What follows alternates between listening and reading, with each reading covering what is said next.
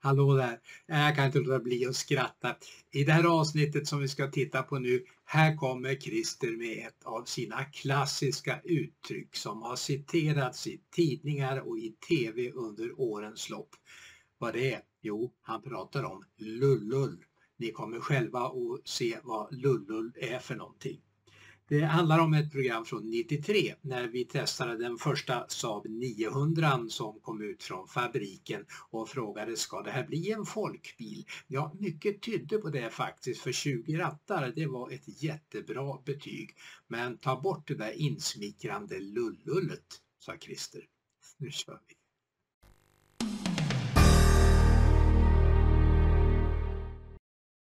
Välkommen till ett eh, nytt avsnitt ur vår serie med klassiska trafikmagasin från 1978 till 2003. Nu kör vi! Idag är Trafikmagasinet i Trollhättan. Vi är på den eh, testbana som normalt används av provförarna här på Saab. Och anledningen då? Ja, det är förstås för att det ska handla om nya Saab 900. En bil som om den blir en framgång kan komma att rädda jobben för över 6 000 invånare här i Trollhättan. Ja, folkbil eller fiasko är frågan. Svaren ska vi ge i det här programmet. Nya 900, ja den har inte en skruv gemensamt med den här gamla trotjänaren, Sonetten från 55. Den här bilen blev väl något av en, ska vi säga, parentes i bilhistorien. Det är något som inte får återupprepas med nya 900. Nej, just det. Någon parentes i bilhistorien får absolut inte den här bilen bli. Det var länge sedan faktiskt en bilmodell var så viktig att man kan tala om överlevnad för åtminstone delar av svenska industrin.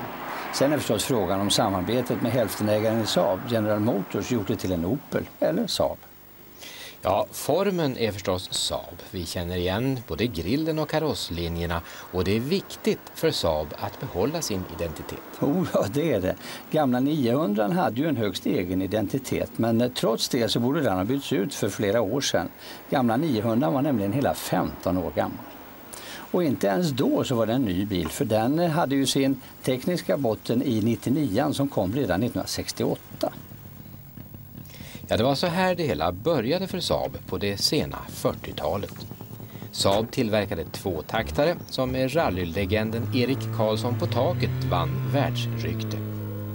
Men nu är det dags att vända blad i Saab-historien.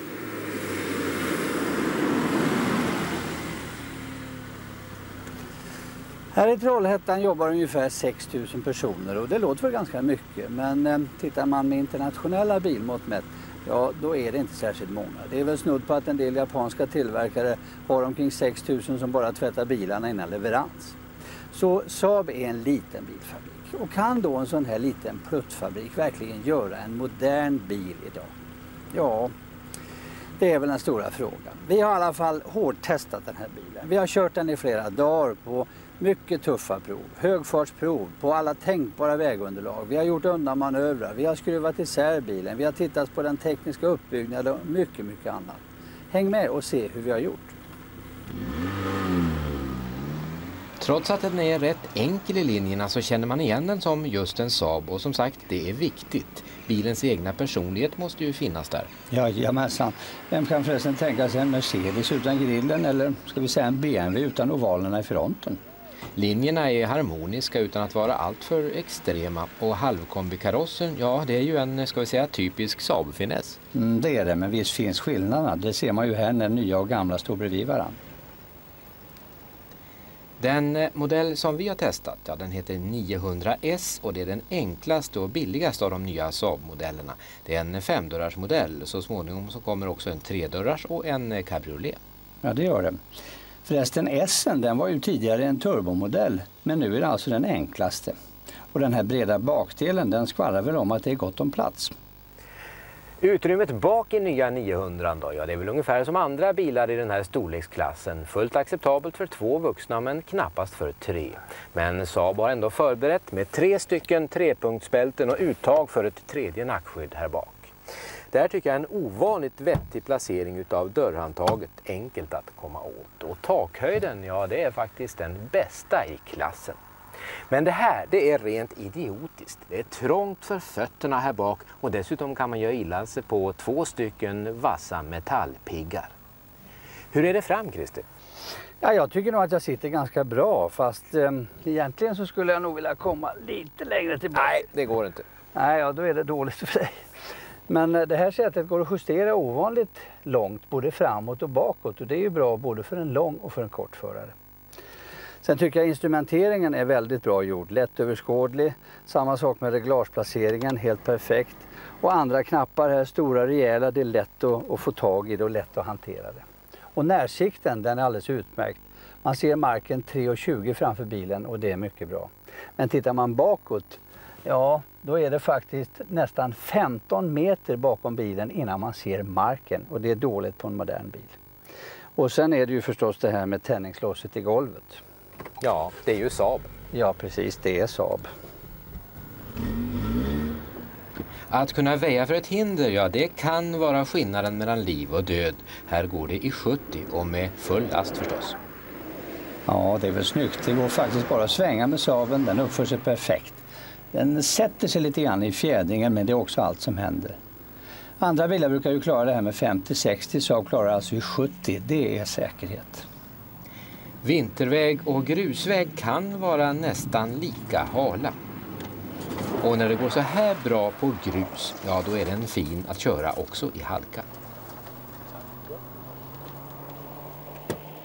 Bagageutrymmet öppnar man från förardörrens insida. Och lastgapet bak till, ja det påminner ungefär om en Finlandsfärja.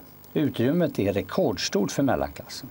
Ja, fyra stora väskor och fyra små, det är som sagt rekord. Och apropå last så är släpvagnsvikten hela 1600 kilo. Och sen tackar vi förstås för stängningshandtaget på luckans insida. Tack, tack.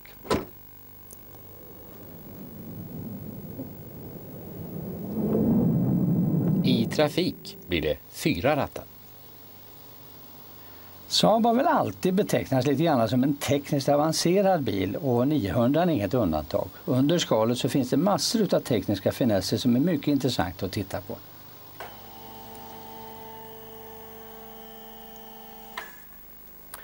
Här har vi skurit upp nya 900 för att se vad som skiljer den ifrån föregångaren. Och hur är det då med ryktena Christer att det är mycket Opel i den här bilen?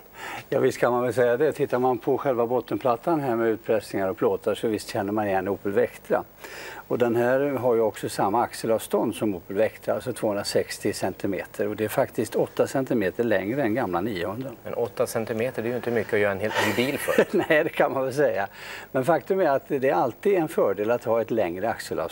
Och det hänger ihop med att, eh, vi kan väl säga att du kör över en, en ojämnhet i vägbanan, då hinner framvagnen fjädra ut, fjädra färdigt innan det är dags för bakvagnen att komma i samma potthål och börja fjädra. Så det blir alltså en behagligare färd genom att axelavståndet ökas.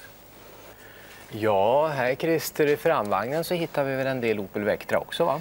Ja det gör vi. Fjäderbenen ser ut att vara nästan identiska med Vectra men det är de inte. Saab har ändrat en hel del på dem så man har fått andra hjulvinklar och därmed också förfinat köregenskaperna.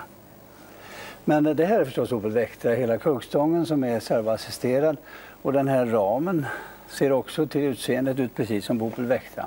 Men här ser vi också att den är galvaniserad och vi kan också se här att Saab har förstärkt åtskilliga detaljer just bara för att förfina konstruktionen. Det här är också en rolig grej.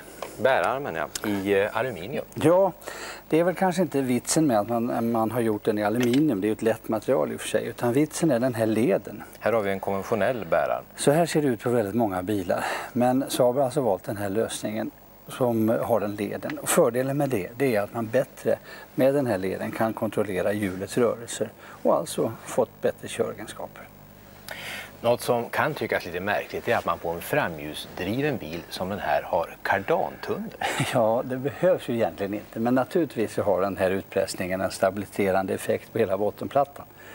Men sen så tror jag personligen att man har gjort mycket av det här också bara för att förbereda för fyrhjulsdrift. Opel Vectra finns ju fyrhjulsdriven så det skulle inte förvåna mig om Saaben också dyker upp fyrhjulsdriven om kanske något år eller ett par. Och det leder över till bakvagnen? Japp.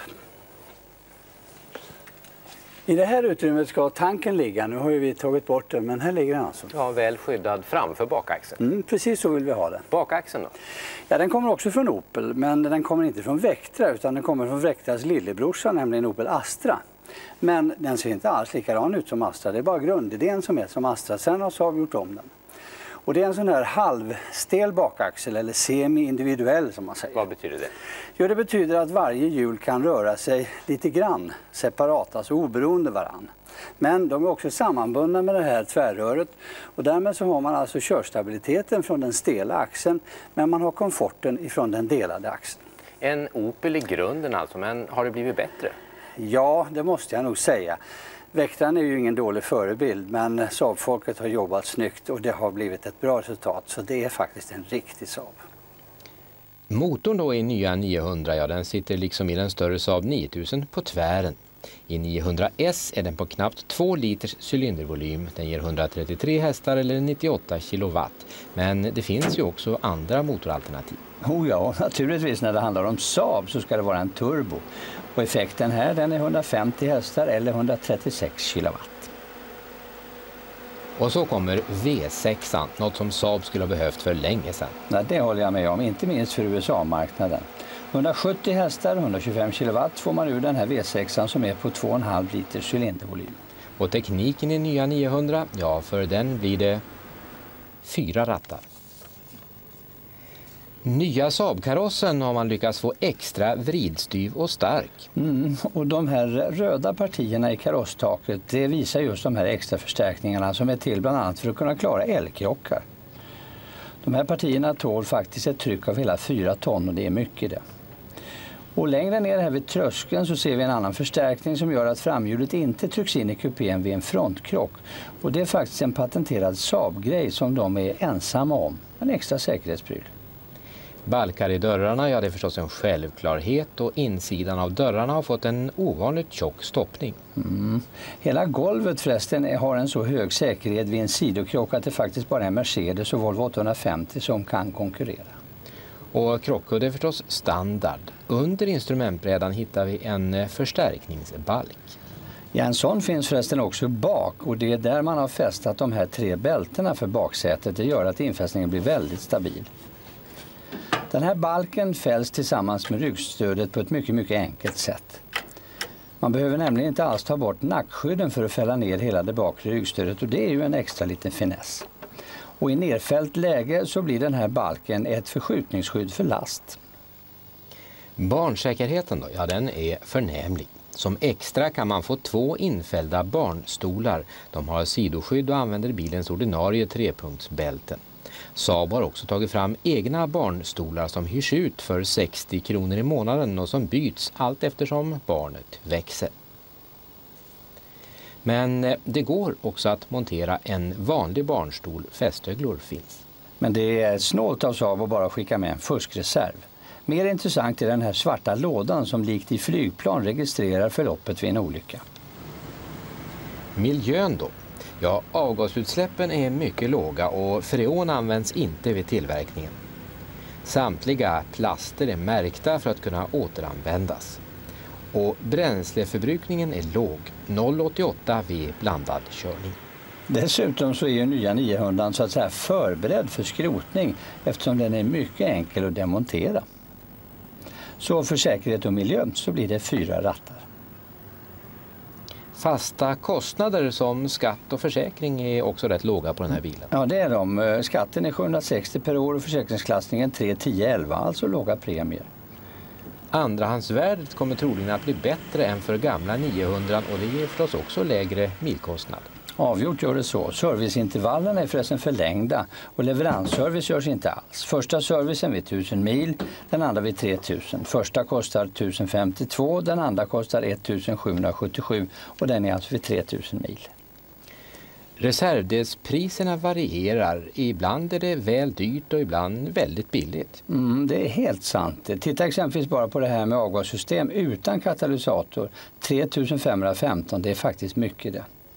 Totalt så blir det här drygt 10 000 kronor och det är alldeles för mycket för att kunna ge full pott. Men det räcker i alla fall till fyra rattar. Krockkudde för föraren. Ja, det är standard men finns också för passageraren och kostar då 4 300 extra. Ratten är justerbar men bara i längdled. Och så har Saab tagit fram en helt ny typ av ljudanläggning. Den är delad i flera olika komponenter och det är någonting som man tror ska försvåra för tjuven. Det här är också något helt nytt. Black Panel. Den knappen släcker ut instrumentbelysningen utom hastighetsmätaren. Det är för vilsam nattkörning. Automatisk klimatanläggning kan fås för 11 000 kronor extra liksom fyrstegs automatlåda som kostar 12 000 kronor. Ytterspeglarna är eluppvärmda bra, inte minst i nordiskt vinterklimat och de justeras förstås elektriskt. Manöverknappen sitter lite ovanligt placerad men fungerar bra. Centrallås, styrservo och elfönster är också standard. Men garantierna, de är snåla. Bara ett års fabriksgaranti, tre års vagnskada och sex års rostskydd. Det är ungefär vad som krävs, men många av konkurrenterna har betydligt generösare garantier. Snåla garantier men omfattande utrustning, det blir fyra rattar. Och räknar vi ihop så kommer vi till 20 rattar. Det är det högsta betyg någon bil hittills har fått i Trafikmagasinets tester. Närmaste konkurrenten Ford Mondeo, ja den föll på sämre ekonomi. Och Opel Vectra, som ju är grunden till den nya 900, ja den har inte Saabens höga och moderna teknik. Ja, 20 rattar är ju förvisso ett högt betyg, men vi ska inte glömma att det här också är en bil med sina brister. Ja, det kan man väl säga. Eh, jag tycker nog att garantierna är snåla. Ett års fabriksgaranti, tre års vagnskada, sex års rostskydd. Det är liksom pliktskyldigast vad som krävs idag. Men det finns fabrikanter som erbjuder 10 000 mils garanti. Det finns också de som har både fria servicer och reparationer. Och det hade väl varit något för Saab att skryta med. Och den avgörande frågan då, blir det här den folkbil som Saab så väl behöver för att överleva? Ja, våra 20 rattar indikerar ju att det är en väldigt bra bil, ingen tvekan om den saken. Men sen måste jag väl säga personligen att jag skulle gärna tagit bort en del av det här japanska insmickrande lullullet i form av en massa elektriska grejer som fönsterhissar och sånt där. Och istället fått ner priset. Tänk 20 000 kronor lägre pris. Det hade verkligen varit en fin grej. Men visst är det en bra bil i alla fall. Ja, det är en bil som vi säkert får anledning att återkomma till, kanske redan i nästa Trafikmagasin den 23 augusti. Då ska det bland mycket annat handla om supersportbilarna från USA som slår det mesta, till och med i bilens hemland. Om ungefär fyra veckor blir det. Tack och hej!